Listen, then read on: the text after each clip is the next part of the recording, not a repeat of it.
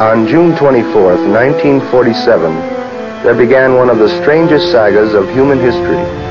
On that day, Kenneth Arnold was flying his plane in the vicinity of Mount Rainier, Washington, when he caught sight of nine mystery craft sweeping the sky ahead of him. Their speed was unearthly, and their skipping action at once registered to him flying saucers. The name stuck.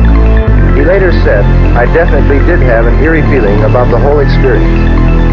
That was the beginning of saucer sightings all over the world. Now, uh, when I told the class, they quoted me. Uh, when I described how they flew, I said if they flew like a saucer and throw it across the water. Uh, most of the newspapers misunderstood and misquoted that too.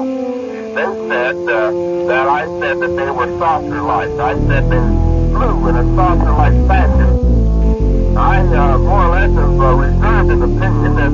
I not by our science or our Army Air Forces, I'm inclined to believe that it's of an extraterrestrial